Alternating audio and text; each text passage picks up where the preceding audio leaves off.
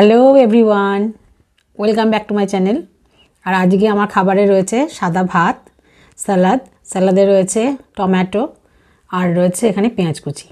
আর লেবু নিয়ে নিয়েছি।